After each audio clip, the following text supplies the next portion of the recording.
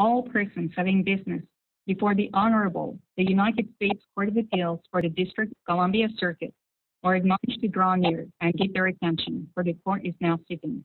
God, United States, and this honorable court. Case number 20-5204 et al. Confederated Tribes of the Chehalis Reservation et al.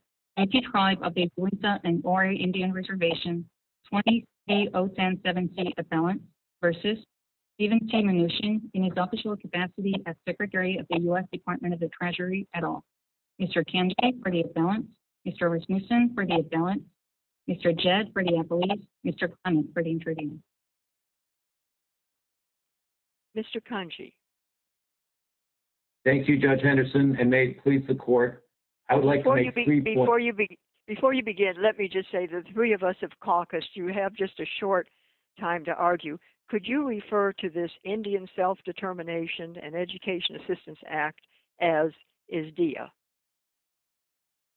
Yes, Your Honor, I will do that.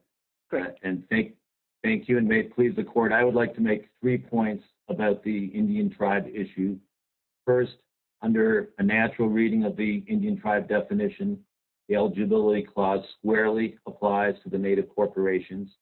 Second, the legislative history and the rule against surplusage uh, cannot and do not undermine that natural reading. And third, uh, there is no uniform countertextual uh, agency interpretation that Congress could have been aware of, let alone sought to ratify in enacting the CARES Act. And adhering to the statutory text will not upend decades of statutory, of, uh, I'm sorry, of agency practice. But turning first to the text, which is where the analysis, We do, Mr. Kanji, can I ask you just a quick procedural question? My understanding is that the district court's stay in this case expires on September 15th, um, unless there's a subsequent motion. Have you all moved to have that extended until uh, the end of the month or our decision or something like that? Or is it uh, not we, expiring? We have not so moved yet, Your Honor. Uh, We thought we would wait until after these proceedings. The district court did appear to leave it open uh, to this court to continue to stay if it so desired. So we thought we would sort of take the, take the lead of this court. If there is an indication that we should uh, move the district court, we will, we will certainly do so and and obviously do so expeditiously. Okay, thank you. So uh, turning first to the text, which is, I think is where the analysis should begin and end, uh, the Indian tribe definition consists of a series of parallel nouns uh, with three, the villages and the two sets of corporations listed as an illustrative subset. The, um, the uh, ANCs would have you stop there, but that would be a failure to read on. Immediately following the ANCs comes the eligibility clause. In ordinary English, uh, that clause would be understood to modify uh, all the parallel nouns, the entities that come before it. Uh, the uh, other option, if sufficient textual clues existed, would be for it to modify only the immediate antecedent, which would still sweep in the ANCs. Uh, the government, however, No doubt you're right about that as a matter of grammar. But suppose it were perfectly clear at the time ISDEA was enacted that no ANC could ever be recognized as an Indian tribe. You still, would you still take the position that the ordering of nouns um, prevails over the, what in my hypothetical anyway, would be a completely inexplicable insertion of ANCs into this list of nouns. So, Your Honor, ex- uh, Judge Katsas, is accepting the, accepting the premise for a minute, which of course we, we don't, but accepting the premise, yes, I think the uh, Congress's English would still apply and would still be worthy of being honored. And I think it's worth noting a few things in this regard. Uh, subsequent practice, subsequent congressional practice fully confirms this. Congress uses Let's, the. just, let's talk about the text before we get to ratification. I mean, that seems awfully odd. It's supposed to give effect to every part of a statute if we can. And that's a pretty striking insertion into the statute.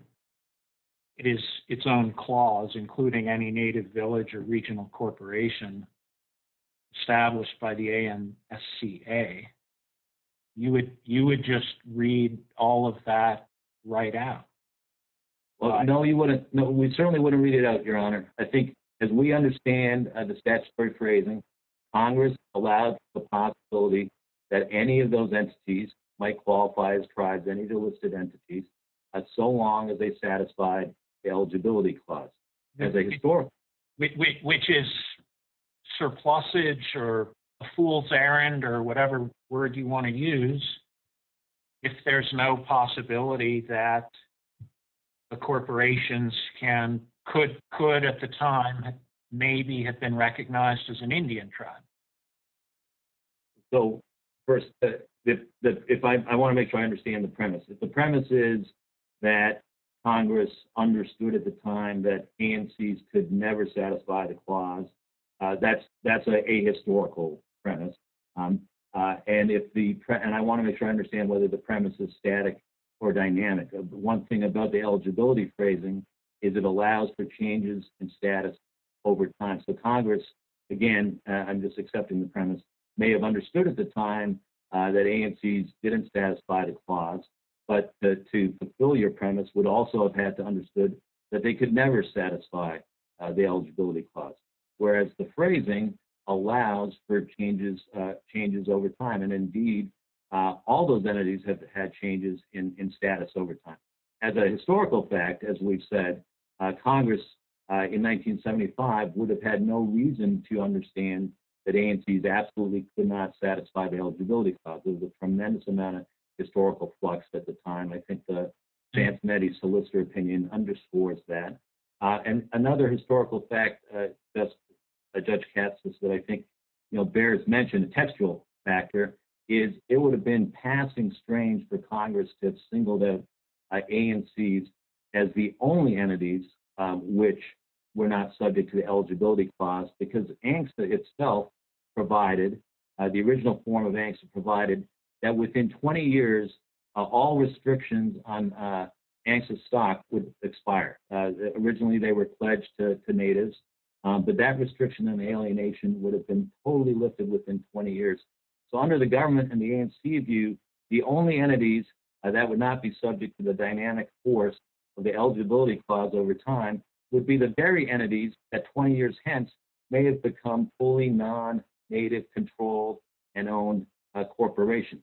The Congress since, I should say in 1990, uh, extended that restriction against alienation. But in 1975, under Section 7 of ANCSA, that was the state of affairs. So in terms of premises and historical understandings, uh, for those to be the one entity uh, in an Indian Self-Determination Act that were not subject to the forced eligibility clause um, would have, you know, in, in, in your in your terminology would have um, defied sense. I'd like to make another point, textual point in response to your question, which is to look at the language of the CARES Act uh, itself, um, because know there've been a lot of hypotheticals thrown around in the in the briefing. But Congress's actual words, I think, squarely confirm uh, our position in the case. If one looks at the definition of a local unit of government, which follows immediately after the Indian tribe definition. This is on uh, page eight, appendix four of our opening brief. Uh, Congress defined a unit of local government to mean a county, municipality, town, township, village, parish, borough, or other unit of general government with a population that exceeds 500,000 people. So we have a qualifying uh, clause at the end uh, let's just take parishes as one example. Uh, parishes are the Louisiana equivalent of a county. They're defined as such under Louisiana law.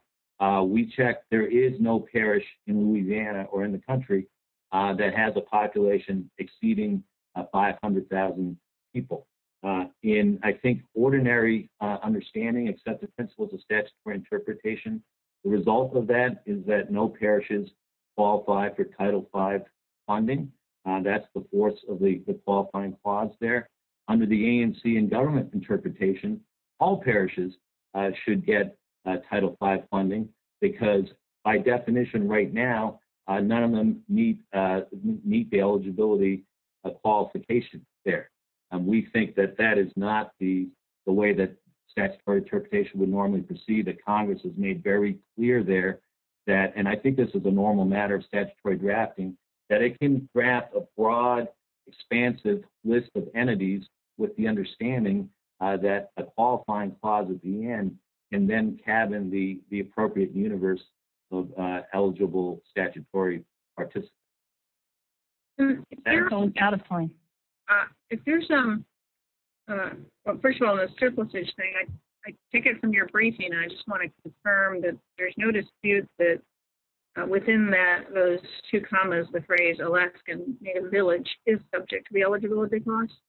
That has been the, uh, that is the government's position, and, and that's certainly our position, Your Honor. Are there any Alaska Native villages, I guess with a little n, maybe, that uh, have not been recognized? Um, let's say even in modern times, don't show up on a list act. Are there any uh, that wouldn't meet the eligibility clause, so the eligibility clause has some work to do? Yes, yes, Your Honor, there- absolutely are. So, and the, the Sansonetti and Solicitor M opinion lays this out well. Um, ANCSA listed, uh, a universe of, of possible villages, but then there were eligibility flights, fights that stretched, uh, into the, uh, late 1980s. And the Interior Department deemed, I think, at least 15 or 20 villages to be non-eligible. Um, so that's, I think, part of the reason why the government understands that the eligibility clause has to apply to the, the villages. Otherwise, you would have entities qualifying for all manner of statutory benefits who, in fact, uh, the government has deemed to be non-native, uh, non-native villages.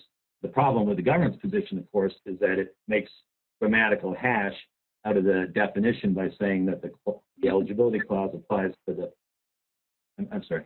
No, no, I, yeah, no, I understand uh, that argument from your brief. Um, my other question, though, is I'm a little confused um, uh, by the assortment of parties here. If if you were to win, um, so this money, the, the money that's now being held, uh, can't go, wouldn't go to ANCs. Would it go to Alaska Native villages? Would it stay in Alaska through some form or another, or would it get dispersed across the United States. So it's already sort of to be designated for Alaska, and there's that's targeted for ANCs right now. Yeah, the, the candid answer to that question, Your Honors, I, I don't know, uh, because Treasury's allocation formula is, is a black box to those of us on the outside. So we, we don't know how uh, Treasury would end up allocating those monies. Uh, the plaintiffs here are an assortment of tribes in the lower 48 and Alaska Native villages. Uh, and the concern here I should underscore uh, is is not only the, the money, which is incredibly important for the governmental purposes for which it was intended, uh, but also the, the, the principle here, the functioning not only of ISDEA, but of uh, many statutes that have followed in its stead, because uh, ISDEA was meant uh, to uh, buttress, uh, support, foster tribal self-determination. And what it did, the principal mechanism for ISDEA was to say if an Indian tribe asked for resolution saying to the federal government, hey, we want now to administer programs that you in your paternalistic way used to administer. Um, we either want to administer them ourselves or we want to designate a tribal organization to administer them. We're passing this resolution and directing you to do that. The tribes, the repository of decision making, uh, under the, the view that's been proffered here by the government and the ANCs, the ANCs could fill that role for all manner of, of contracting. They could say, hey, we want contracts to go X, Y, or, or Z. The role that ANCs have actually played. Okay, let me in back this- up here because I want to. This, I mean, you're stepping into an area where I have another question, and that is um, uh, in the eligibility clause. Unlike the List Act, it doesn't say recognized by the secretary. Um, so could um, uh, could an Indian tribe be recognized by Congress under this statute? in, I'm sorry, Your, Your Honor, under is, is or Under ISDEA, could would that de- eligibility clause be satisfied if Congress passed a statute, like in the Franks Landing Act case, that said, we hereby declare that X tribe um, is an Indian tribe um, that is entitled, is eligible for the special programs and services, da da da da da. And that would satisfy ISDEA, is that correct? That, that's correct, Your Honor. Congress certainly has that authority. Did And what it, in creating, did the ANCSA, sorry, I'm using too many acronyms here, did the Alaska Native Claims Settlement Act do that in creating the ANCs um, and giving them the role that it gave them? no, it decidedly did not do that, Your Honor. And uh, what's been rendered very clear since there was uncertainty after ANCSA as to whether the villages had sovereign authority. There was a lot of debate over that for um, 15 to 20 years. The Solicitor's M opinion in 1993, the Sansonetti opinion, resolves that. Um, says yes, the villages certainly had governmental authority, and the corporations. Uh, it's been understood, I think, from from the get-go, and that opinion again confirms this that uh, corporations do not have sovereign governmental powers. They do not enjoy the government-to-government relationship with the United States. The ANCs don't make even make that that claim. Uh, hence, they are not recognized in, in that way. Well, I'm trying to understand what this eligibility clause is looking for, because as I read it, it sounds like um, the tribe has to be eligible, I say for, as in to receive the special programs and services provided by the U.S. government. Um, but then you reference, and there have been other arguments, that actually this clause is satisfied if an entity provides the programs that the government would otherwise um, be providing. Is it that you have to be, is, is providing by contract or whatever the services that the government otherwise would be, say, health services or educational services? Is that sufficient to satisfy the eligibility clause, or do you have to both is providing it insufficient, you also have to, you and or your members have to be eligible to receive them if they were administered by the U.S. Right. It's it's a it's a term of art, Honor. It's been used for a long time in federal Indian law, and what it was historically understood to mean was that you had to be eligible to receive benefits and services from the United States, you know, by virtue of your status as Indians. And so then what ISDEA said was, uh, so if you are so eligible, uh, by virtue of your status to receive benefits and services, uh, then you can make this designation to say, hey, we actually now want to uh, administer those programs, those services ourselves. We want to take them over, and we're passing this resolution directing the secretary. Your, your question goes to a very important point. The the the ANCs, a lot of the ANC briefing, including some of the amicus briefing, talks about how they provide services in, in Alaska. And we don't gainsay that the ANCs play important roles in, in doing that in, in Alaska. But they do that uh, large in the main um, because tribes, the villages, have designated them as tribal organizations to provide such services. There are some limited exceptions where Congress itself has. They do provide them some, you said in the main, and maybe this is where you were going, they do, as, as I understand it, also provide them in areas where there is no tribal government to or Native Alaska, I'm going to use tribal for a shorthand here, even though it's Alaskan Natives. Um, there is no tribal government or entity to sort of contract with them as an organization provided. Um, isn't that right? That, that, that's right, Your Honor, and that's a situation which uh, has been expressly covered by subsequent separate congressional statute, the 1997 Act, which covers that situation where you have a like Anchorage, which this is why the ANC and U.S. briefing focuses so much on the provision of health care in Anchorage, the Anchorage area, because there's a separate congressional statute that authorizes the ANCs to do that. Uh, that is an area where, exactly as you say, uh, there are not native villages with, with jurisdiction. This is just like the situation in the lower 48 states where we have a lot of urban areas, Seattle, Minneapolis, where there aren't tribes with jurisdiction, and there are separate congressional authorizations for tribal organizations. Tell me, can you give me a cite to that? You said 1997 statute? Yeah, that's, um, that's cited, I think, at the, re- our reply brief at page 12. It's the, um, one, 111 stat 1543, 1997. Uh, it's the statute that's discussed in the Ninth Circuit's uh, Shalala case, 166, Fed Third, 986.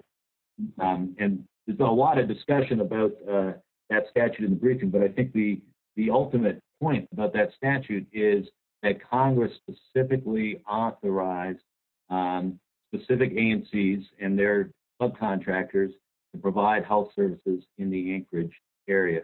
One thing that you know, a one theme, common theme in the government briefing, the ANC briefing, the amicus briefing on their side is trying to create this picture that if you adhere to the statutory text here, to, to what Judge Katsas referred to as the grammatical reading, you would be upending you know, 45 years of agency practice. And I really want to stress that that is not the case, that uh, the examples mentioned really fall into. Do you have any evidence that, that, what is your evidence that when, for example, prior to this 1997 statute, um, the secretary uh, authorized ANCs to provide services in areas where there was no tribal government, that they were tr- doing it, they were treating the ANCs as a tribal organization rather than an Indian tribe. How do we know? On what basis? So, uh, the, and it, it's, it's a little tricky because in some ways, you know, on our, on our side, we're asserting a, a, a negative. But here's what I can say. The, the district court asked uh, the United States whether it could identify situations where the ANCs were acting as a tribe, where they the, were the ones authorizing uh, the contracting. The, the government initially couldn't identify any situations. Ultimately, I think the only situations that the government or the ANCs have pointed to where the ANC is acting, and again, I want to be very clear, as the authorizing tribe, um, are really a handful of situations. The Anchorage, the pre the pre-statutory Anchorage uh, healthcare situation, and one or two other May healthcare. been, may have been for a couple decades, right? I'm sorry. It may have been for a couple decades, right? the, the practice in, in, in Anchorage. I, I don't recall exactly when it started, Your Honor, but it was very limited. We're talking about one, uh, one regional corporation and uh, one or two, uh, one or two subcontractors with a lot of controversy. And the reason why the Shalala case and the statute came about was because there was controversy over whether the villages themselves had to provide the authorizing resolutions. The government's and- and- was That was mooted by the statute and, and what the Ninth Circuit's in that litigation. Right. The Ninth Circuit said in the Shalala case you know, that was the statute, U.S. government's interior's position. It was that they were, that the ANCs were authorized to do it, correct? As tribes, not as organizations? right, wh- where there were, where there were no villages uh, present in in that. in As that- tribes for like the solar, map, not as tribal organization. Right. So, and, and, and here's the important point about, so you have the solar memorandum, 1976, which says what it says. Uh, But then in 1981, and this is glossed over, comes the IHS guidance, uh, which DO, DOI then subscribes to. What IHS says is, is very clear that um, the villages are the primary contracting authority because they are the repository of sovereignty in, in Alaska. Uh, and then they lay out a hierarchy where they say only where uh, there is no village, no functioning village government, uh, can the corporation step into the shoes and essentially act as, as the village government. Um, what's happened since then is all federally recognized native villages in Alaska have functioning governments and have had it for decades now. So that's why, as a matter of practice, to go to your question, um, the number of situations where you had contracts authorized by corporations are extremely limited and now are ahistorical uh, because um, because the villages have functioning functioning robust governments they act as the contracting authority so if one is talking about um, you know countertextual uh, premises here one wants to talk about did congress ratify some agency practice, there is no uniform countertextual agency practice that has stretched over uh, these 45 years that Congress would have been aware of. All right, Mr. Kanji, I'm going to interrupt you because you're over your time, and I have a one last question, and that is, what concerns me is the Alaska Natives, who I understand are not part of any tribe, and they get whatever services, help, assistance that they get from the ANCs. Now, you gave the example of the parishes. Um, num- numerically, there would be no parishes that would qualify for CARES Act assistance, but those people are also uh, eligible for state assistance.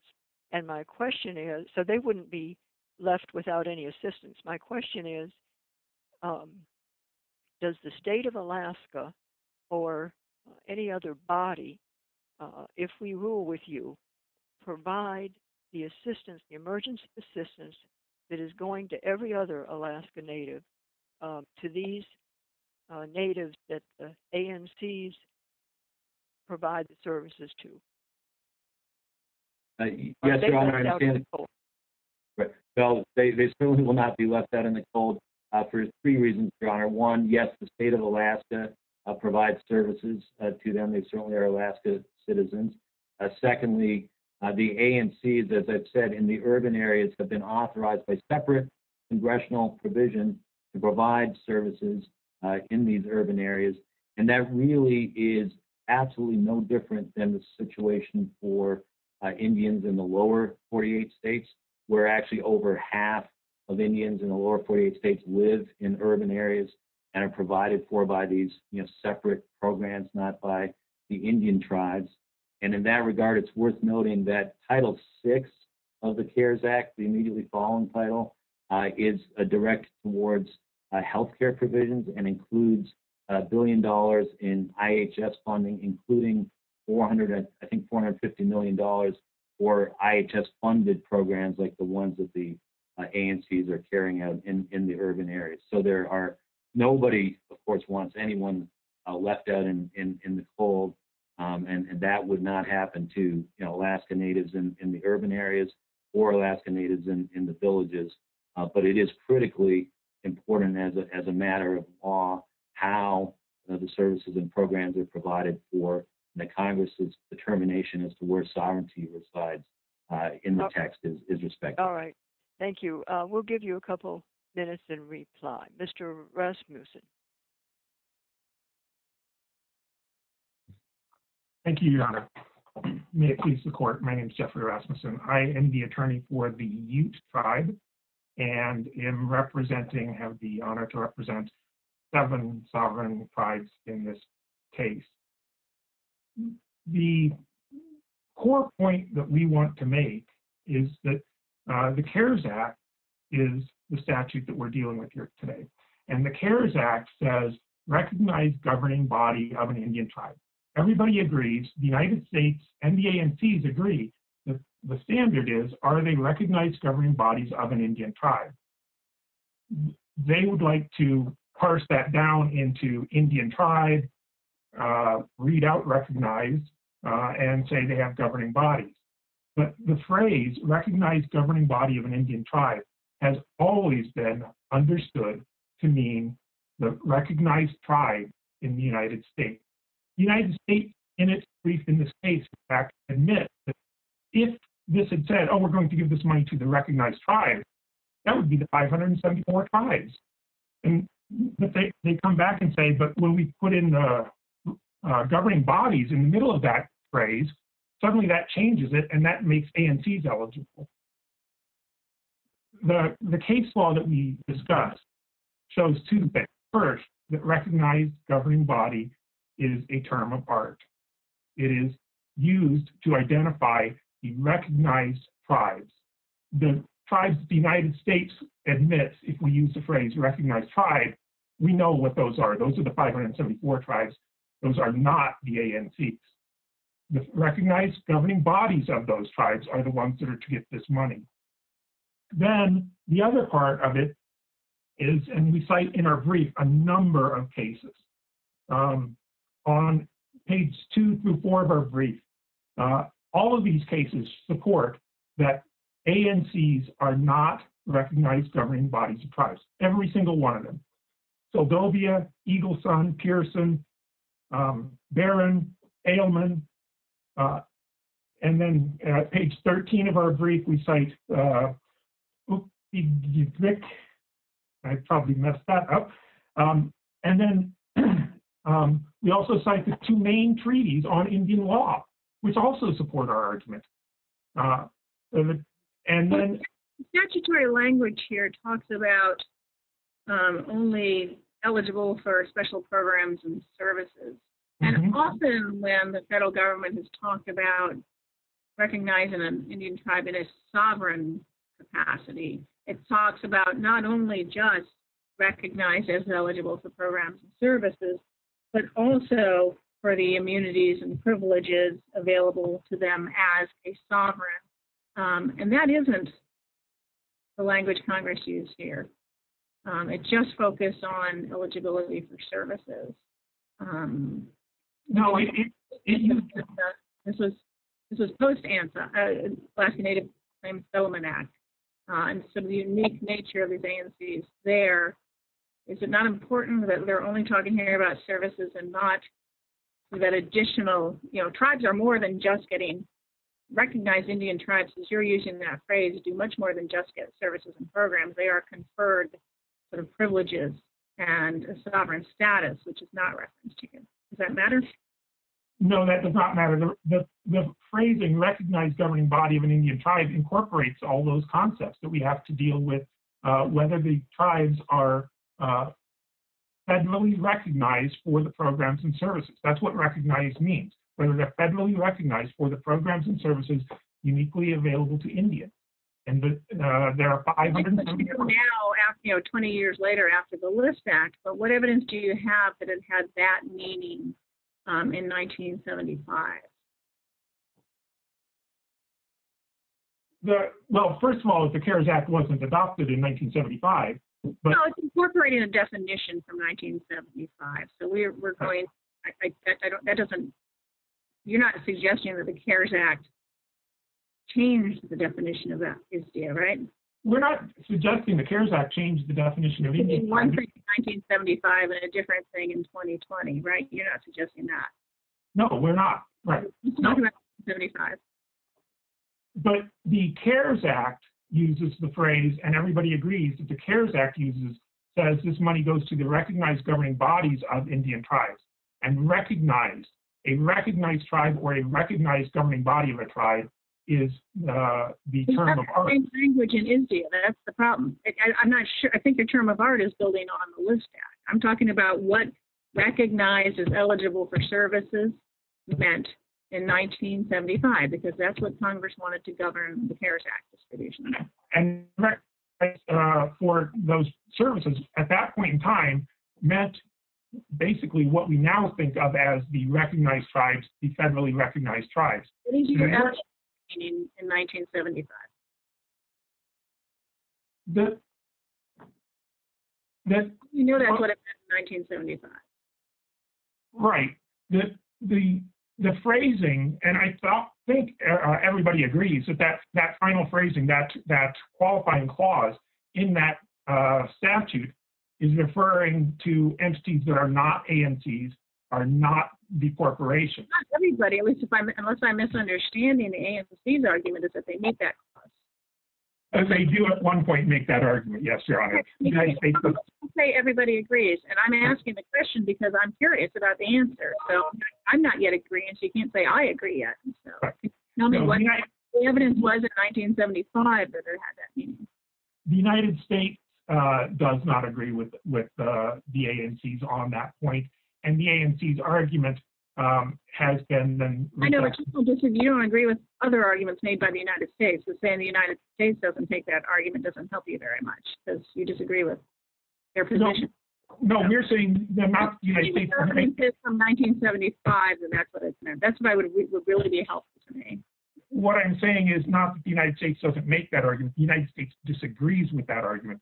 The, the appellees disagree on that point. I, I'm not, I, I understand, I actually really understand, I believe everyone's positions here in this case. I'm, I'm going to try the question one more time. What is your evidence? Case law, statutory law, Department of Interior pronouncements that in 1975, that, that phrasing there, eligible for services and programs, nothing more, mm-hmm. meant recognized as sovereign government. I don't think we do have that, and I think that's uh, part of what Mr. Kanji had pointed out, is that in 1975, there was still the possibility that ANCs would qualify under that provision. We now know that they don't. But at, in 1975, there was that uncertainty. There was that possibility that that, that uh, the inclusion of ANCs would bring in some tribes. We don't all know that. if they don't now do it, that's one of the issues in this case. So that's why I'm trying to ask you, what can you do to tell me just to support, what is the rationale that doesn't jump ahead 20 years to tell me what Congress meant when it put that eligibility clause in there? Had it used that phraseology before in legislation? Um, I do not know if it had used that before in legislation. What it was, uh, I think what you're getting at is uh, the point that Mr. Kanji was making that there, at, in 1975, we did not know that.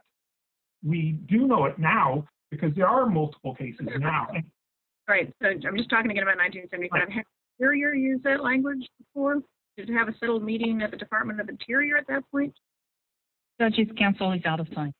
Indian Law Treatise or anything like that? or no, the, the largely recognized tribe comes from the idea of the, the List Act uh, and or the, the tribes have been recognized by Congress or that, that have been recognized by the United States in some other manner um, as Indian tribes. So there is there was the concept of recognized tribes at that point in time, but largely that uh, the references now are to uh, the List Act itself. That that's where we talk about the recognized tribe. We all uh, at this point would say ANCs are not recognized tribes. I know that the, that again, I know that uh, the ANCs, you know, at one point make just briefly make that assertion, uh, but the case law is just overwhelming that ANCs Well, let the ANCs tell us if they mean it or not. I had assumed they were serious about the argument, but they can, they can answer that question, I think. So what, what we have though are a number of cases, as I was saying, that, that make this uh, point that ANCs are not the recognized governing bodies of Indian tribes. In its response brief, the United States uh, actually cited one of the cases that we had to leave on the cutting room floor in our brief, our opening brief, the Sac and Fox case, uh, election board case, uh, and the related case, Goodface, the Grassroots, uh, which are Eighth Circuit cases. And in both those, they're talking, the core point is what is a recognized governing body of an Indian tribe? That is the core of those cases. And there was a dispute about which of two entities was the recognized governing body of an Indian tribe. And the court said, we look to the BIA to tell us that. Who, who is the recognized governing body of this, these Indian tribes? And we look to the list that the United States publishes of those recognized governing bodies of Indian tribes. So again, as Indian law practitioners, we know when Congress uses the phrase recognized tribe or recognized governing body of an Indian tribe, as it did in the CARES Act this year, we know what they're referring to. They're referring to those 574 tribes. And so that's, that's the, they're referring to these sovereign tribes. And the final point I wanted to make was the, the general structure of the CARES Act. And we discussed that in our brief, and the other side comes back and says, just ignore it. Um, but titles one and two are for corporations. As Mr. Kanji noted, Title six has some money for uh, some, some types of medical services. Title five is all for sovereigns. Every single other entity there is, for, is a sovereign. And that is what, uh, how Congress structured this act. And it used the phrase recognized governing body of the tribe to reference the sovereign tribes, just like all of the other sovereigns that are in Title V. Thank you. All right. Mr. Jed.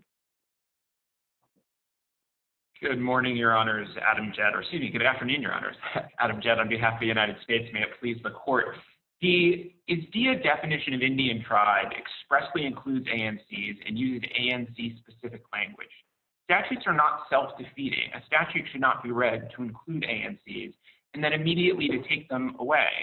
And by 20... Ability clause apply to Alaska Native villages? Uh, yes, Your Honor, it does. Um, I think since... How, I'm sorry. I mean, I, I get your put it in, take it out.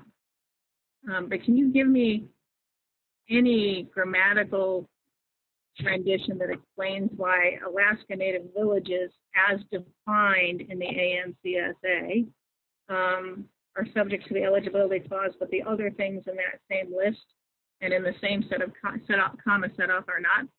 Uh, sure. So I, I, guess there's kind of a set of grammatical answers to that, and then there's maybe a little bit of a historical answer to that. Um, I mean, grammatically, I think we have two main points here. The one, of course, is just sometimes folks make grammatical errors, and there are obviously other kind of context dependent indicia of what a statute means. But we actually cite a couple of grammar guides where we point out that this issue of, I think one grammar guide calls it an ex proposed modifier, is viewed by many as a common grammatical error, but is actually viewed by others as permissible. That I think the idea, and this is kind of like the baseball example that we use in our brief or the District of Columbia example that Mr. Clement uses in his brief, is when you have a list of items followed by a modifier. Statutes, by the way. I, I, I'm sorry, there's Mud, I didn't quite hear you there. Statutes, right? Your hypotheticals were not from statutes. Those are not from statutes. I think the best statutory example we have actually is if you look at the Hayes decision, it's a Supreme Court case from 2009 that we cite in our brief. Um, there you had, it wasn't uh, just a list of individual words, it was a couple of different phrases in a statute. And the Supreme Court there ends up holding that the kind of modifier phrase at the end actually skips over something to apply to the earlier phrases in the statute. Do you have anything where it applies to, what you need to show me is that it applies to one thing in the newly out- added set-off language. Um, and, and remember, Alaska Native Village is not only at the beginning, but it fits the end of that set-off as well as defined in the Alaska Native Claims Settlement Act. So um, the eligibility clause ap- applies to Alaska Native villages, the beginning of that set-off clause, and the end of it, as defined in the Alaska Native Claims Settlement Act. You have, but then it doesn't. Apparently, it pops off again for villages, regional or um, or village corporations, as defined in the ANCSA, defined or established. Do you have one like that where? it- I certainly don't have an example of a statute that's kind of structured in the identical way to this statute. I guess there are kind of two points I want to make in response to that.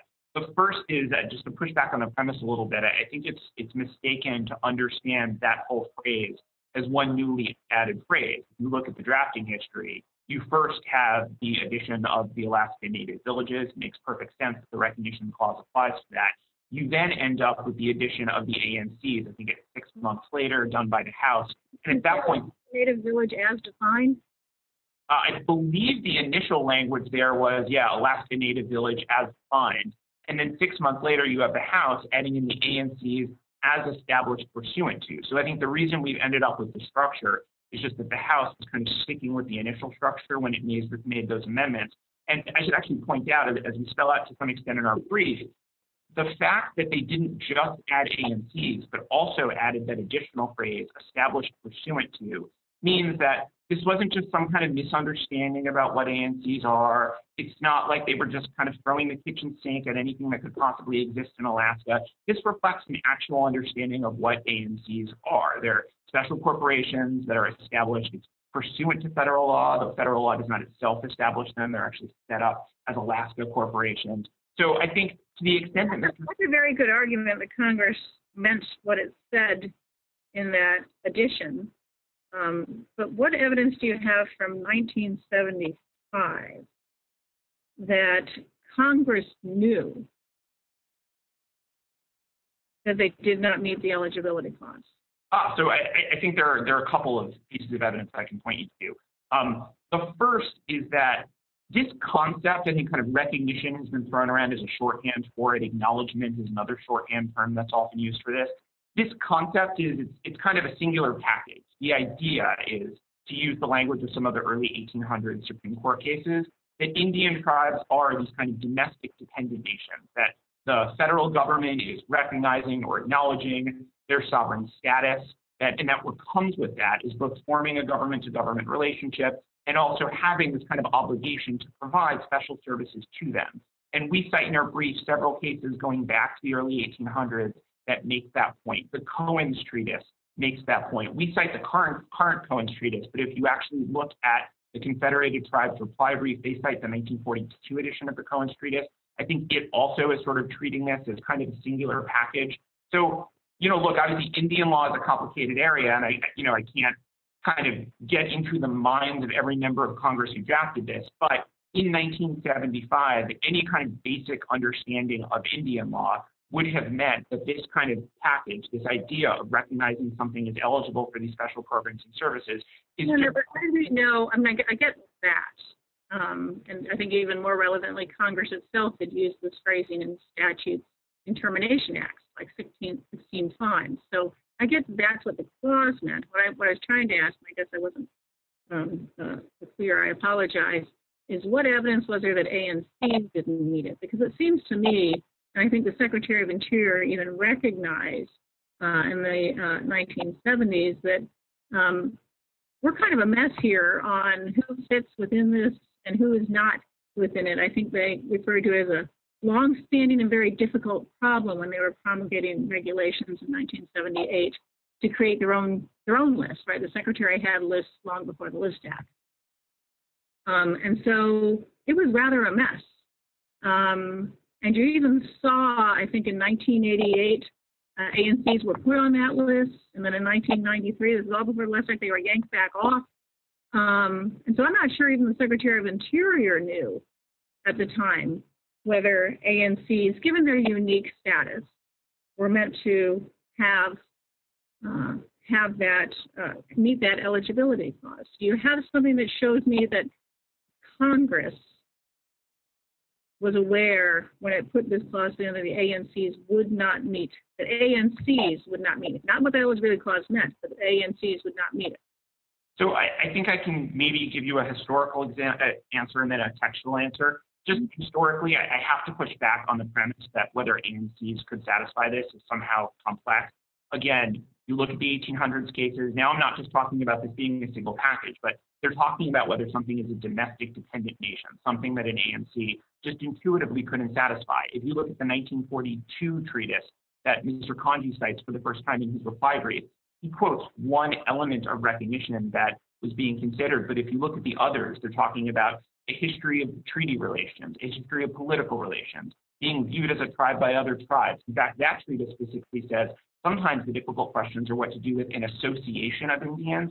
And there, the treaty says what's critical is having political relations. And Judge Millett, in the 1978 preamble that you referred to, the preamble says that historically one of the most important factors have been a political relationship. In fact, we actually cite a study that was conducted in 1977 of what was then Interior's recent recognition criteria, which made clear that they were looking at whether there's a history of a political relationship. So a recently formed for-profit corporation under Alaska state law just couldn't have that kind of history. But Judge Millett, I think there may also just be a textual answer to your question, which is if you just parse the phrase to be eligible for these special programs and services, provided to Indians because of their status as Indians, it's hard to understand how these corporations could be eligible because unlike every other listed entity in that list, a corporation isn't a group of people. A corporation is an artificial legal entity. And I, I know the plaintiffs have tried to argue, well, for at least 20 years, their shareholders were going to be Indians. But nonetheless, the corporation itself is an artificial legal entity which presently was owned by Indians might not always be owned by Indians, whereas everything else, like a tribe, although it may have some kind of a legal status, is also just a group of Indians who are eligible to receive those kinds of services. I think that I think you would agree as well that Congress itself could decide that someone meets this clause, whether or not they would have historically. They, they could meet this this clause, and by the way, this clause does not have language about the historic recognition or political status. It's just about eligible for programs and services. And given that they just said we set these things up in this statute, why wouldn't it have been perfectly sensible for an awful lot of the members of Congress who are voting for this, and presumably we're not as expert uh, in Indian law as, as, you all are, um, that those things that were just established in ANCSA, like the as analogously to the Alaska Native villages, are eligible. Well, they're, they're and programs, but not for the privileges and immunities of sovereign status.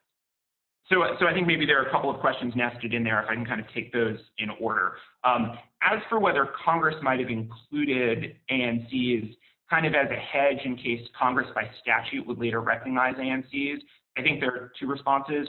The first is just, although of course Congress can pass statutes that recognize tribes, there is still a kind of conception of what recognition counts as.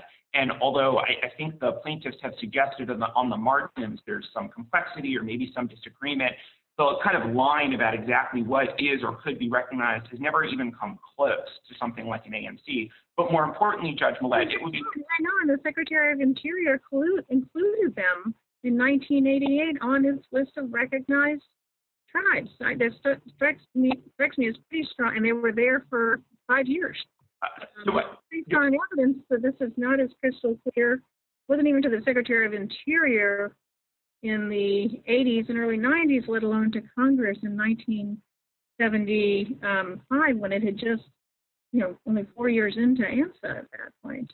Well, I, I need to push back on that premise as well. I think if you look at the language of some of the subsequent Federal Register notices published by the Department of the Interior that we cite, they clarify this, which is when Congress included ANCs on some point on a list, essentially what they were trying to do is they were trying to say, look, there are things that count as Indian tribes for different purposes. And because ANCs are Indian tribes under ISDEA, mind you, a position that obviously the plaintiffs think is incorrect, that we want to make sure everyone knows that these are a set of entities who are eligible to contract with us. And as we point out, this is a definition of Indian tribe that has been corp- incorporated into dozens of other statutes.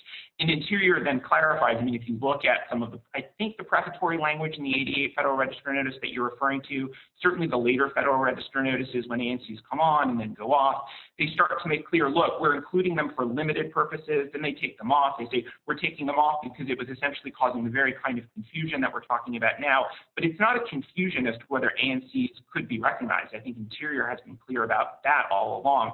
And Judge Millett, just to, to add, it would be particularly strange for Congress to have included ANCs in case Congress later decided to recognize an ANC by statute. I'm just saying, maybe they, maybe, maybe members of Congress thought they had already done that in. I don't even have to say later.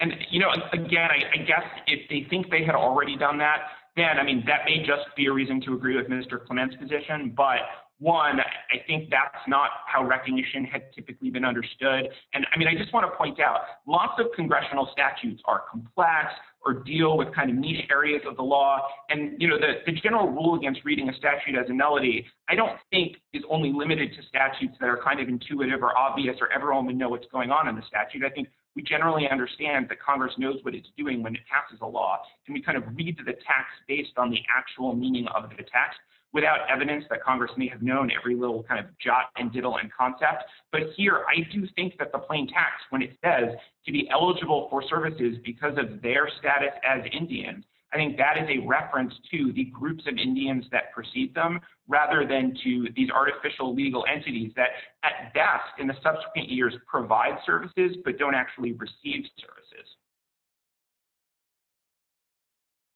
All right, Questions? I don't know if my colleagues have any others. all right. Ms. uh, Judge Katsas? I'm fine. Okay, then we'll hear from Mr. Clement. Good afternoon, Your Honors, and may it please the Court. Paul Clement for the interveners. Both sides to this dispute insist that the plain text decides the case, but the single clearest feature of the relevant text is Congress's express inclusion of regional and village corporations established pursuant to the Settlement Act in ISDEA's definition of an Indian tribe. Now, as we've heard, the appellants contend that Congress negated that express inclusion of ANCs through the implications of the eligibility clause, which they read as both modifying ANCs and categorically excluding them from the definition. But I think there are two. Yeah, both sides are claiming text. But isn't the most fair way of thinking about this case is that there are competing canons of interpretation? You have a very powerful one that we don't lightly presume substantial, inexplicable surplusage. And your friends on the other side have a pretty powerful one that we don't lightly presume completely bizarre grammatical constructions where, you know, one clause modifies everything at the beginning and everything at the end, but not one or two things in the middle of a list. So ha- which, which of those prevails and why? So two points, Judge Katsas.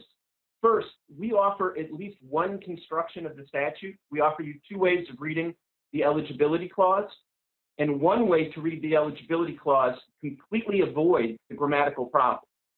If you read the eligibility clause in its ordinary meaning, not as a term of art reference to recognitions as sovereign, But if you read it instead, and I think this idea was embedded in some of Judge Millett's questions, if you read it instead as simply a recognition for eligibility for special programs made available only to Native Americans, if that's the way you read it, which I think is its ordinary meaning, then you don't have to choose.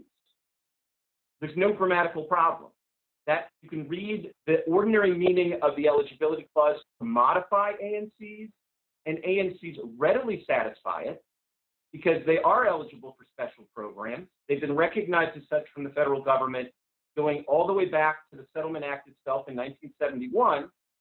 They haven't been recognized as sovereign, but I don't see the word sovereign in that eligibility clause. I think, as Judge Millett may have alluded to, if you really want to go back and parse the statute that was issued in the Ninth Circuit Frank's Landing case, you see at least one clear example where Congress used an eligibility clause that looks exactly like ISDEA's to talk about eligibility for special programs in the context of a tribe that it expressly did not want to make a federally recognized tribe for sovereign purposes. So I have my second answer to you, but I do want to make clear that the virtue of our argument that read the eligibility clause in its ordinary meaning, ANC satisfy it, the virtue of that is there's no grammatical problem at all. Now, Can I just interrupt you and say, let me just interrupt and say, but doesn't that interpretation make the eligibility clause uh, almost surplusage? I mean, what does it add then? Oh, what, what it adds then, Judge Henderson, is the exclusion of state recognized tribes that are not federally recognized for any purpose. And I think with respect to the, the a state recognized tribe or something other than the, the, the corporations that were expressly created by a 1971 act of Congress, the eligibility clause has work to do. And, Okay. and that's really a good segue to my second part of the answer to, to Judge Katsas' question, which is, so if you assume for a second that the eligibility clause doesn't have its ordinary meaning, but has a term of art meaning that's limited to sovereignty, then I think the way to read the clause is, sure, you start with the, you know, the series distribution canon, because I don't think anybody thinks it modifies only the last antecedent but you only have it modify those terms that it usefully or meaningfully modifies.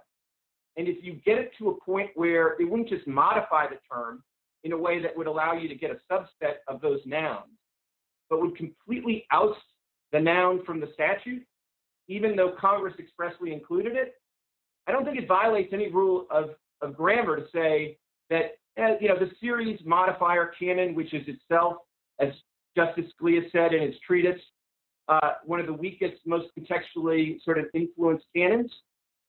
If that gets you to a point where you're going to oust a phrase that Congress expressly put into the statute, then I think that clause yields. So, so the long answer to your question is, if you have an application of the series modifier canon that allows the, the modifier to meaningfully modify other nouns, but it gets to particular nouns and would oust them from the statute, creating a huge superfluity problem, then the superfluity canon or the anti-superfluity canon carries the day. And I think that basic statutory principle is profoundly buttressed by the legislative history. Not everybody looks at it, I realize, but the drafting history is very powerful here because been has been alluded to. The eligibility clause was in the statute, modifying all the other nouns, including Alaska Native villages, at the point that Congress added the ANCs to the statute. And one other piece of contextual evidence, and again, not everybody likes to look at House reports, but there is a House report that buttresses, that go, accompanies the addition of that language. The government cites it on page 31 of its brief. And what, what the House thought it was doing, and it states it very matter of factly, is adding ANCs to the definition of an Indian tribe. It didn't say it was adding them to the definition on the off chance that at some future point in time, some subset of ANCs might satisfy the eligibility clause. Congress thought it was definitively adding the ANCs to the definition of an Indian tribe. So I think that's, you know, Judge Millett has asked a number of questions asking what was Congress thinking in 1975? I think that's, for those that look at it, pretty good evidence. The other thing I think Congress was fully cognizant of, The problem, the problem there is that Congress had used this phrasing 16 times, at least 16 times before, all of which were termination acts, uh, which meant it was not just cutting off services, but was definitely cutting off the political um, dependent status uh, relationship uh, with the tribe. And so when Congress then picks that same language up and plunks it down here, um, it must, I think we should presume it had the same meaning. The only question is whether maybe Congress wasn't clear yet whether ANCs would have that status in light of the Alaska Native Claims Settlement Act or not. Not what that language meant, but what the ANC status would be if someone were to apply that language to them. So Judge Millett, I'd like to beg to differ. And I really think, you know, there are two kinds of federal statutes that address uh, Indian tribes in some loose sense, and some of them that are about providing programs and services to Native Americans, and some of them are about more sovereign matters. And I don't think you can just mish and mash those together. I mean, the, the Alaska Federation of Natives amicus brief, I think, is helpful in just sort of broadly kind of looking at those two baskets of statutes. And so even if this were, Post 1975. At the time Congress put this in ISDEA, none of those other statutes, that unless I'm wrong, please tell me, in my research, none of them existed. The only time this phraseology was used was for termination acts. And I think that's um, what I'm trying, you know, I feel like I need to look at that and not look at the sort of, as you will say, mishmash of statutes that shows up afterwards. That sometimes they put them in and sometimes they list them separately and sometimes they say they're out. so two responses, Judge Millett. See, every one of the termination acts, by definition, is all about sovereignty. So Well, it's also about reference, services. I mean, and it uses the services language. It doesn't use the sovereignty language. yeah, but the whole point of the statute is, you know, if it's a termination statute, it's terminated sovereignty. I know, but So- that is also terminating its obligation, its obligation to, as- to provide services and programs to this dependent nation. It, it, it terminated both. Sure. And I mean, you know, and, and, and I suppose if you're going to terminate sovereignty, you terminate an obligation. I'll grant you that. But when you come and you have a statute that's about something else, which is not about sovereignty at all, and you see that reference, But that, but that begs the question of whether it's, that clause is about sovereignty or not. And so you'd think, you'd think if they were meant to use something that didn't involve, include the political relationship, they would have used different phraseology. But but here's here's the other part of my answer you, Judge Millett, is that the big thing I think, with all due respect, your question misses, is the big event is happens in 1971. Congress creates these new novel hybrid organizations that they know are going to play a very important role in delivering programs and services to Alaskan natives. Right, delivering but not receiving. I mean, that's why, that's why, um, I can imagine why Congress was confused here, but as I read that language, it's talking about, uh, tribes being eligible for services and programs provided by the United States to them and their members. Not just that they are eligible to sign a contract to deliver these services to Indians.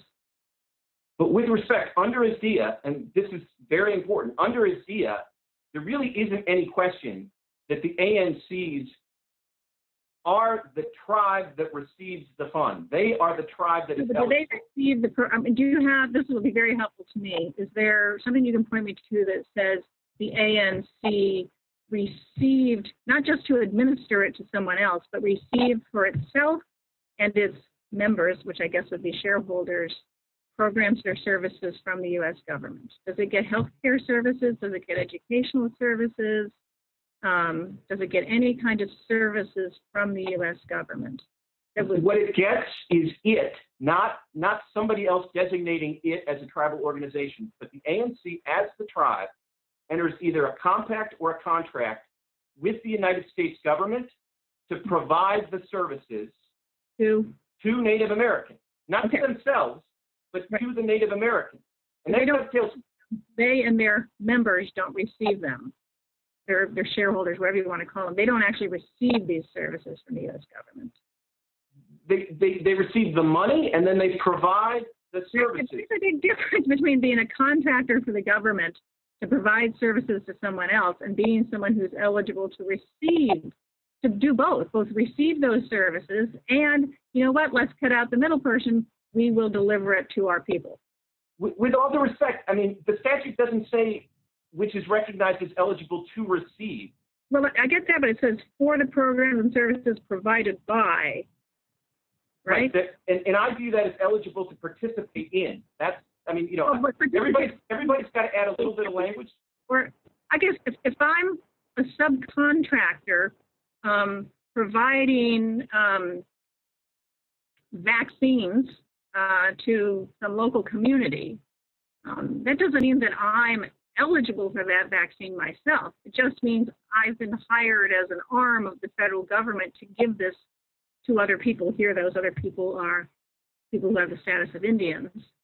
Um, but that doesn't mean I'm eligible to receive it myself. You had a vaccine that was only for healthcare workers, and then they hired non-healthcare workers but really good shot givers um, to administer it to help to provide this program or service to healthcare workers. That would not mean that the contractor is itself eligible to get that first vaccine. It's just administering it to other people. And that's how I understand ANCs, but maybe I'm wrong. So I, I don't read the statute that way, and I don't think the ANCs are any different from the tribes in this respect. And I think if, I mean, it's I think it's helpful if you read the statute. I think even under my friends on the other side's position, the which is recognized clause is modifying not the recipients, it's recognizing any Indian tribe, band, nation, or other, other group or community, including the village or the village corporation or the region corporation. All of the relevant programs, all of the relevant special programs and benefits, especially if you understand the context of ISDEA, which is they're essentially kind of moving from the federal government providing all the benefits to the Native Americans directly, and they're trying to involve the tribal entities as a middle person. So I think if you understand that context, it's clear that they're not talking about not just ANCs, but the tribe or any of these other groups being the ultimate recipient of the shot in the arm of the vaccine. They're saying, in the context where previously the federal government would do the vaccinations themselves through the Indian Health Service, Which where they had it, which always has an antecedent, right? Which has to refer back backwards, not forwards to Indians. It has to refer backwards to Indian tribe, band, nation, organized group, community. So tho- that's the thing that has to be eligible. Exactly. But since those are all entities, those are all groups, then I think you read the whole phrase, which is recognized as eligible. Mhm. I- I think you do essentially say recognized as eligible as middle people, because that's the role under these programs all of the entities perform. And then you keep reading, and it says, for, for the special programs and services provided by the United States to Indians because of their status as Indian. So the rest of the clause is talking about the recipients and the nature of the programs. But of course, we fit those to a T. Well, if The programs, phrase is ambiguous, this eligibility clause, not the prior clause, but the eligibility clause. Um, don't we have to give Chevron deference to Interior on that, which says you don't need it? no, I, I don't think so. Um, I don't think they've asked for Chevron deference at all. Well, they haven't, they haven't, they've been, they haven't asked for it on the, whether that clause applies to ANCs, but, I mean, I can, um, you don't think that they would claim Chevron deference to what the eligibility clause means? I, don't think so. I, I mean, I think they've, they- you know, they've been quite candid, I think, in asking for Skidmore deference nothing more. It's not my experience that the government is shy about asking for Chevron deference when they think they're entitled to it. I think this is, they've asked for Skidmore deference on whether the eligibility clause applies to ANCs. I mean, they can, I guess, tell us later in a letter if they want, whether they claim Chevron deference or what the eligibility clause means, which is a separate legal question. Sure, but they- haven't claimed it at, at this late date. It seems a little late, Your Honor, with all due respect. And I don't think, but I think just it helps to take a step back because we know from the House report, we know from the drafting history that Congress thought that it was including ANCs in the statute. And it seems to me there's two paths to that result. They either thought that because they simply read the eligibility clause as plain English and said, yeah, the ANC satisfied. We know that. We just created them, and we just created them under the Indian Commerce Clause, and we gave them all sorts of land and all sorts of money that were available only to Native American entities. So if you read it in its plain language, it seems like the most obvious thing in the world that Congress thought, yeah, of course the ANCs, which we just added, are not excluded by the eligibility clause. Conversely, you can read it in this term of art way that says, yeah, that's sovereignty. Doesn't say the word sovereign, certainly doesn't cross-reference the List Act, which isn't passed for 20 years. But if you want to read it that way, okay, nobody in 1975 thought the ANCs were sovereign. They might have thought, there might have been a, like a jump ball question as exactly how much money the ANCs were going to ultimately get when things played out and Interior had all the T's crossed and all the I's dotted. But nobody in 1975 thought that if the eligibility clause meant sovereignty, that the ANCs were sovereign. Why, why is that so obvious? Right? You, you make a very nice thematic point that the Claims Settlement Act and the, the arrangements in Alaska are sui generis. And ANCs are this new kind of entity that's set up um, in part to perform government-like services that in the lower 48 would be performed by tribes, right? It's like the tribal equivalent of HHS. Um, and recognition seems to have been much less clear at the time than it is now. So why isn't the solution to why isn't the solution to my problem of you know which which canon do I offend is to say everything hangs together because even though it turns out ANCs weren't recognized as sovereign, that was an open question at the time. So, Your Honor, first of all, to be clear, if you're going to look at all of the legislative history, you have to confront the fact. Well, I'm not looking at legislative history. Okay, but but let's say let's say some of your colleagues are. Then then they're going to have to confront the reality that Congress was not adding those ANCs that may later be determined to be sovereign. And if they're not determined to be sovereign, we don't care.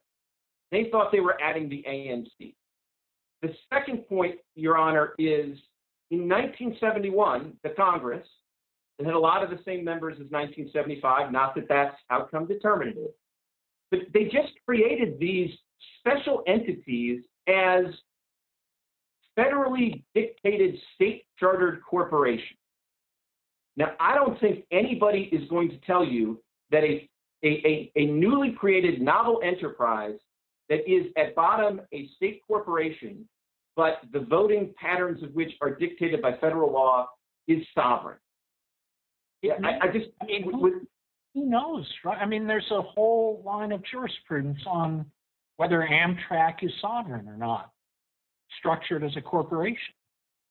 I mean, but but here's the other thing, Judge Katsas, which I think buttresses my point, is that they knew they were creating these new corporations as something novel that were in addition to the Alaskan Native villages.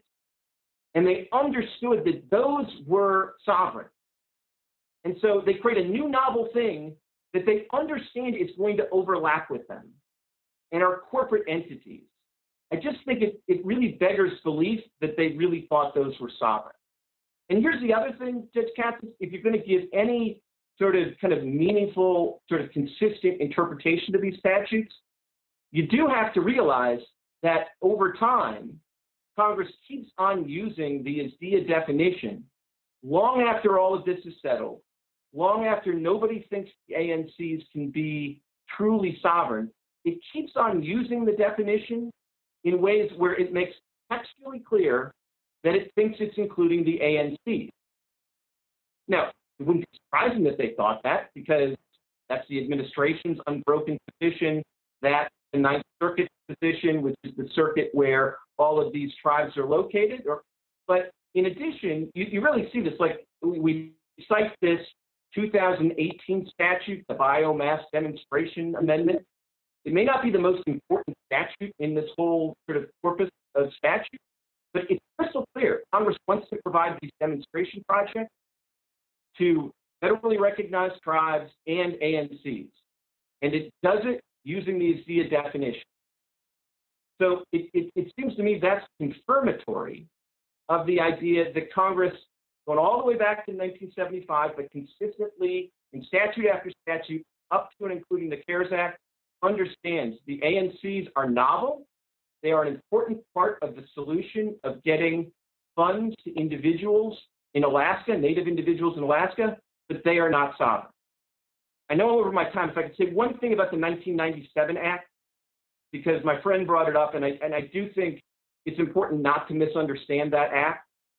The 1997 Act is doing something that is important, actually confirms our position, but does not support the appellants. What, the, what happens is, if you look at ISDEA, in the definition of tribal organization, there is a proviso, the last part of that definition. The proviso makes a lot of sense. The proviso says that if a tribe or a tribal organization is providing services for members of multiple tribes, it has to get the assent of those all of those tribal entities. So what happened right before 1997 wasn't just like a continuous pattern of things that had always happened. That CIRI had participated in ISDEA before 1997, but a few years before 1997, an existing uh, Alaskan health service that had been run by the federal government directly in Anchorage and was serving all sorts of natives from all sorts of different tribes was handed over to CIRI to run. And the question that arose was, wow, there's like Native Americans from like 200 different villages and regional corporations that are served by this entity. Does CIRI really have to get the approval of 200 different tribes and ANC? And that was what the litigation in that 1997 case was about. Congress passed a statute that said, essentially, for this facility, like facility specific legislation, you don't need to get the approval of all of the villages and regional corporations and village corporations. And the important part about that is Congress itself waived the requirement to get the approval of the ANCs themselves, and you only need their approval under the statute if they are tribes. So the 1997 statute is a pretty limited focus. It doesn't sort of change the whole world, but everything about it supports the position that ANCs are eligible to participate in ISDEA and are covered by the definition. I ask one quick question? For ANCs, regional or local, um, eligible to apply for relief under the CARES Act under the PPP provisions as businesses, business concerns? Some of them, Some of them? so some of them may have been, Your Honor. I don't think there's anything that expressly excludes them, but the same thing is true of lower 48 tribal corporations. So there's some provisions that an entity with a tribal affiliation, whether it's some organization that's Lower 48, my assumption is that lower 48 tribal corporations cannot be funds as a tribal government. No one thinks they can do that. No, no, but I, I, I have missed. Whether the folks that are seeking money here could also, and it's, it's sort of different uses of money. I'm just asking whether any could have, or you're if you're aware any of your clients have um, sought uh, PPP funds. So if I'm understanding, we're talking about PPP funds that are outside of Title V. Is that right? I don't know if I got my titles right, just the ones that, that are available to nonprofits or business concerns. Yes. I, I, it is my understanding, Judge Millett, but I can try to confirm this and send you a letter, is that both some A and C sub-entities and some tribal corporations have sought those funds, Some ANCs have. and some lower 48 tribal corporations. At them because they're totally different. They're very different because they don't. Uh, well, I'm sorry, I, with, all due respect, I don't think they are any different. Well, maybe not PPP, but they can't, the question here is whether someone could be both a business concern uh, for PPP purposes and a uh, tribal government for these purposes. And maybe you can do both because these things are, have kind of a unique status. you know. Yeah, and, and, and as I'm saying here, I don't know if the entity that applied for PPP funds was ANC itself or a sub-organization. But, but the point is, nobody's questioned, as far as I know, the eligibility of a tribal-related corporation to seek some PPP funds as a corporation, whether lower 48 or an Alaskan affiliated thing. If, I could just maybe finish on this point, though, the one thing I think is crystal clear is, you know, Mr. Kanji may be right, my friend may be right, that like you don't know exactly how the funds are going to be allocated here if we lose. But I do think, in the AFN brief, I think, does a nice job of making this point. Given the reality on the ground, given the reality that lots and lots of people in Anchorage, for example, who are Native Americans, are getting their medical services through CIRI, that lots of individuals in other regions are getting their housing assistance through regional corporations through NAHASDA. If you exclude the ANCs from this statute, Alaskan natives will be systematically undercounted in the allocation of funds. Even if they're just to give you, represented, even if they are members of a native, um, a native village? Or are you talking Yes. about people not in native villages? Yes, because the allocation funds that, uh, that interior, that Interior and Treasury have used, they're a little complicated. Part of them is population, but one big important part of them is employees. And so the lower 48 tribes can count all of their employees in the tribal headquarters, and I believe they can count even the ones in the casino. Those all count as their employees. Now, the Alaskan Native villages, because they rely on the regional ANCs and the village ANCs for the delivery of a lot of services, and not because they're lazy or they're weird, but because that's the way Congress set it up in Alaska in 1971, they had very few employees. Their budgets are much smaller than an analogous lower 48 tribe. And that's because a bunch of the employees that are discharging the kind of roles that lower 48 tribes discharge in Alaska are situated in the ANCs. A lot of the budget for some of that is situated in the ANCs. So if you say they're not, you are not, they're not included in the statute, you will systematically ex- undercount Alaska, underfund Alaska, which presumably explains why the delegation is here, why the Alaskan Federation of Natives that represents everybody in Alaska, including the tribe. The ANCs also, are they also, aren't they also providing services to individuals who are not members of Alaska Native villages? I- There may be a few, but not in any way that's different from the lower Well, 48 your brief, your brief said that ANCs step in when there is no, um, uh. Oh, oh, oh, I'm sorry, I, I- I misunderstood. Mhm. I misunderstood your question. So there is a big chunk of what regional ANCs do that provides benefits to Native Americans who are not the member of any village. Mhm. And that I think is particularly true, you know, it may not be true sort of very much of every regional corporation, but as a population matter, I think it is, it is, it is very true because a disproportionate number of services are provided by CIRI to individuals in the Anchorage area, because that's where the population is, and a disproportionate number of the Native Americans in Anchorage don't have a village tribal affiliation. So there really is, you know, eh, from, from a population standpoint. They're not members of a recognized native village. they're, they're not members of a native village. They may be shareholders of either CIRI or one of the other regional corporations. They may even, and this is where it gets a little complicated, but this is where it is the same as the lower 48. You, you do have the possibility that some of CIRI's organizations are providing services to a member of the Cherokee tribe who happens to be up in Anchorage. But that also happens in the lower 48 too. So I don't think anything turns on that. But in terms of a unique undercounting problem, there is a unique undercounting problem in Alaska, not just because of the not counting the budgets and the employees, but because of what you put your finger on, which is there's a disproportionate number of Native Americans, particularly in the Anchorage area, that are not a member of a federally recognized tribe. All right. Thank you, Mr. Clement. Um, Mr. Kanji, why don't you take two minutes? Thank, thank you, Judge Henderson. I'd like to make four points if I can.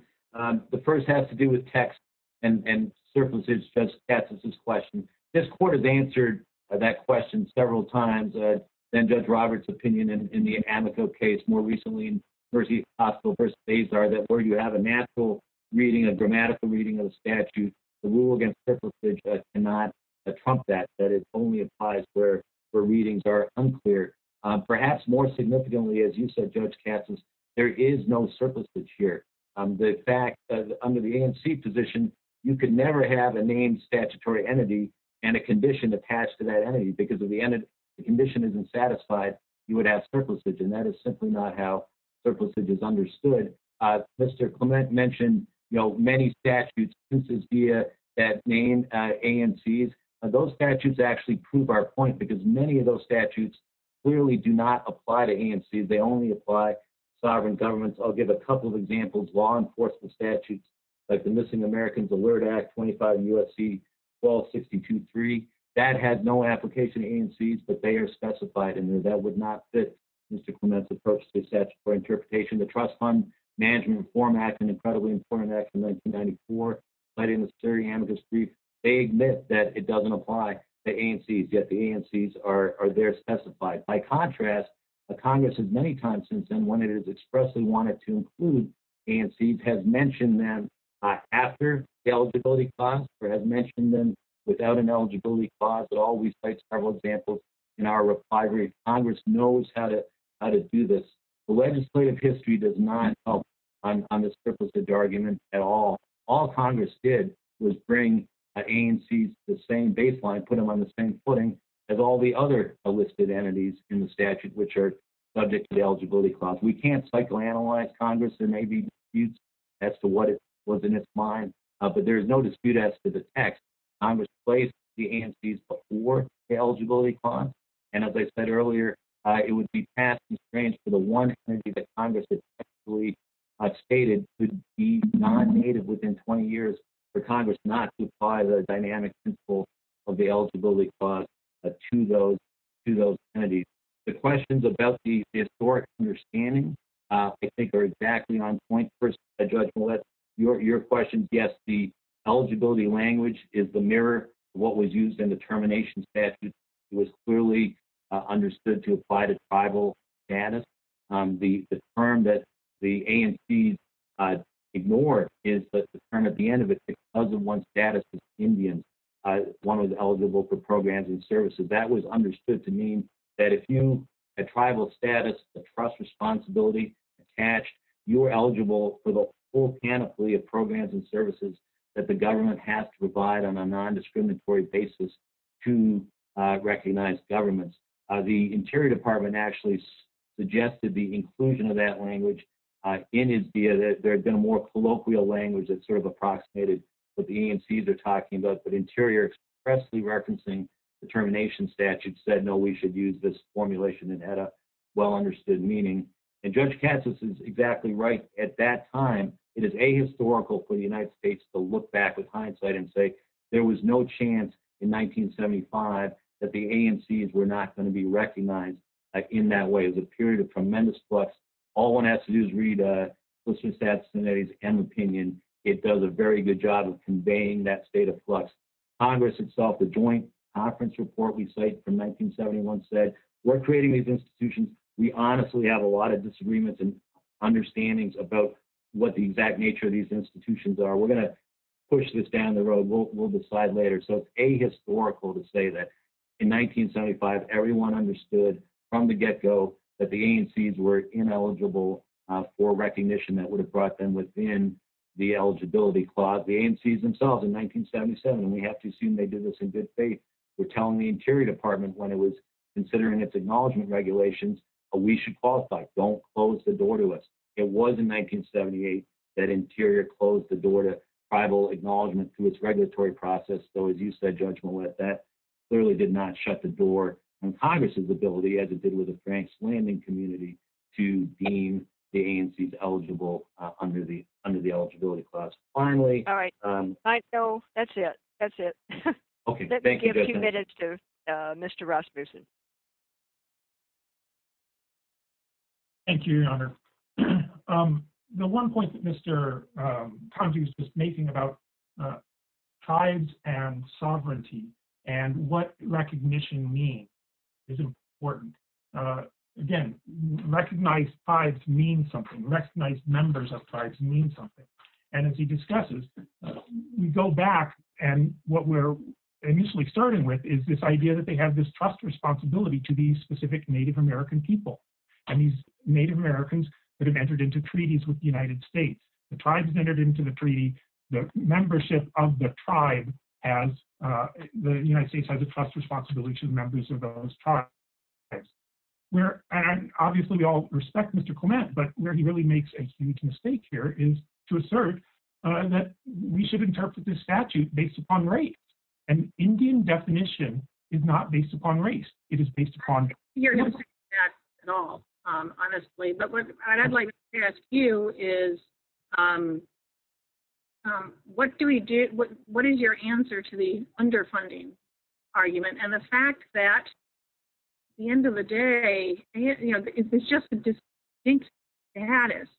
Um, Congress did something novel and very different in ANCSA, um, but it's still meant to ensure services um, to Alaska Natives on the same terms as um, uh, American Indians in the lower 48. And it sounds like, you know, with the definition you're proposing, although you're doing it through the tribal government, the ineligibility here would result in a big difference in coverage. Um, well, no, we disagree with that. Uh, what we've got is that the Treasury Department developed criteria for how it would allocate money, but for every tribe, and the, there's over 200 tribes in Alaska. Every tribe, every member who is a member of that tribe gets there was a, an allocation for that member. Every single one of them. They get a lower allocation because there's fewer employees, if I understand the system, and maybe I don't. there was an allocation made to employees as well, uh, related to employees as well. But again, that's the allocation standards that the United States chose. Uh, and it, if it had chose a different allocation standard, then Mr. Clement's problem would go away. If they'd solely done it based upon population, for example, there wouldn't be this. That's the allocation issue that the United States has correctly asserted is solely within their discretion. It's not, and so they they're In their view of the statute, it doesn't leave, it doesn't create the undercounting problem that your view of the statute does. And they may, you know, undercounting in the CARES Act, but probably in a lot of other programs where there's references to, uh, where they uh, adopt the ISDEA definition of. Right. And we, we have concerns about that, but we also, that Mr. Clement's argument is would dramatically overcount because it would bring all of those large multinational corporation employees within that count. So yeah, there's not, uh, this is where the United States developed these criteria, but there's a, would be a much more important overcount problem. The members, A lot of ANC employees are not uh, Alaska Natives at all? Um, as we use the term Alaska Natives for Indian law, no, they're not, because we're using the term to mean people who are have the political relationship with the United States. If they have that political relationship, then their regional or their court, their uh, tribe got money for them because they have that political relationship with the United States. And that's where we can't give money. The United States can't give money based upon the racial category. It can only do it based upon the political relationship. So if those people who might uh, not be enrolled went and got enrolled, they would then be counted. But many of them are not enrolled. And, and we have the same thing in the lower 48, where there are many Indians who are mostly Indian blood who are not enrolled in a tribe. And that's not different than it is in Alaska. And so there is an undercount in that way as well for all of the tribes. So the allocation formula, though, is what the United States came up with, and that's not something that we can discuss really on appeal because that is something they have the discretion on and beca- creates a non-appealable issue. All right. Judge Katsas, any questions? No. All right. Then, counsel, the case is submitted. Thank you, Your Honors. This honorable court is now adjourned until Monday, September 14th at 9:30 a.m.